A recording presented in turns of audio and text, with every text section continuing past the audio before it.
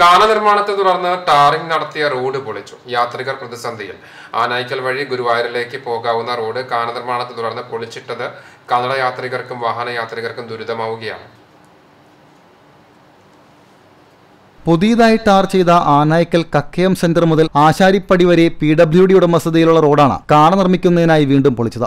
ആനായ്ക്കൽ തണൽ ബസ് സ്റ്റോപ്പിന് പരിസരത്ത് റോഡിന് നടുവിലായാണ് കാണ നിർമ്മിച്ചിട്ടുള്ളത്. കാനയുടെ നിർമ്മാണം കഴിഞ്ഞതിന് ശേഷമുള്ള റോഡ് നിർമ്മാണം നടത്തുന്ന രീതിയിൽ നിന്നും ഘടകവിരുദ്ധമായി ടാറിംഗ് നടപടികൾ പൂർത്തീകരിച്ച റോഡ് കാണ നിർമ്മാണത്തിനായി വീണ്ടും പൊളിക്കുകയും റോഡിലൂടെ യാത്ര ചെയ്യാൻ സാധിക്കാത്ത വിധം ജനങ്ങളെ ബുദ്ധിമുട്ടിക്കുന്ന നടപടിയാണ് ഉണ്ടായിട്ടുള്ളതെന്നും സാമൂഹ്യ പ്രവർത്തകൻ എം ഡി രാജീവ് പറഞ്ഞു.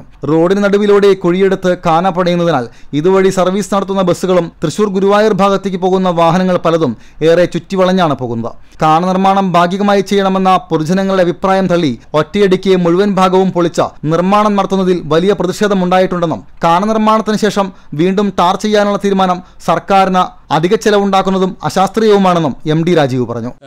ഒരു ഭാഗം ആദ്യം ചെയ്ത് മറ്റേ ഭാഗം രണ്ടാമത്തെ ട്രിപ്പ് ചെയ്യുകയാണെങ്കിൽ വാഹനങ്ങൾക്ക് ഒരുപാട് വളഞ്ഞു പോകേണ്ട ആവശ്യം വരില്ല. അപ്പോൾ പി ഡബ്ല്യു ഡി ചെയ്യുന്നത് എന്താ വെച്ച് കഴിഞ്ഞാൽ ഇത് വീണ്ടും ഇപ്പോൾ പുതിയതായി ടാറിങ് കഴിഞ്ഞതാണ്. അപ്പോൾ ഈ വീണ്ടും ഈ ടാറിങ് കഴിഞ്ഞിട്ട് വീണ്ടും ഒരു ടാറിങ് ഇവിടെ ചെയ്യാനുള്ള എസ്റ്റിമേറ്റും കാര്യങ്ങളൊക്കെ അവർ തയ്യാറാക്കിക്കൊണ്ടിരിക്കുക എന്നുള്ളതാണ് പി ഡബ്ല്യു ഡി എഞ്ചിനീയർ ഇന്നലെ എന്നെ വിളിച്ച് പറഞ്ഞത്. അപ്പോൾ അതിനർത്ഥം എന്താ വെച്ച് കഴിഞ്ഞാൽ കോടി കോടിക്കണക്കിന് രൂപ സർക്കാരിന് അവിടെ നഷ്ടം സംഭവിക്കുകയാണ്.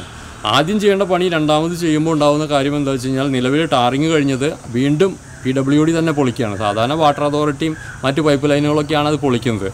ഒരാസൂത്രണമില്ലാത്ത ഒരാസൂത്രണമില്ലാത്ത പ്രവർത്തനമാണ് സത്യം പറഞ്ഞാൽ ഇതിൽ നടന്നുകൊണ്ടിരിക്കുന്നത്. അശാസ്ത്രീയമായ റോഡ് നിർമ്മാണത്തിലെ അപാകത യാത്രക്കാർക്കും സർക്കാരിനും ബുദ്ധിമുട്ടാകുന്നുവെന്ന് കാണിച്ച പി ഡബ്ല്യു ഡി വകുപ്പ് മന്ത്രി മുഹമ്മദ് റിയാസിന് പരാതി നൽകിയതായും പരാതിയിൽ അന്വേഷണം ആരംഭിച്ചതായി മന്ത്രിയുടെ ഓഫീസിൽ നിന്നും അറിയിച്ചതായും. അന്വേഷണത്തിൽ അഴിമതിയുണ്ടെന്ന് തെളിഞ്ഞാൽ ഉദ്യോഗസ്ഥർക്കെതിരെ കർശന നടപടി ഉണ്ടാകുന്നതുവരെ പോരാടുമെന്നും എം ഡി രാജീവ് പറഞ്ഞു. C C T V news Kunnamkulam.